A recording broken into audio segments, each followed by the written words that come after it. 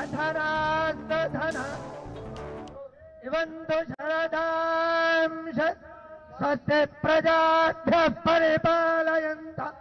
न्यायेन मार्गेण मये महेशा। गोब्राह्मणेभ्यः शुभमस्तु।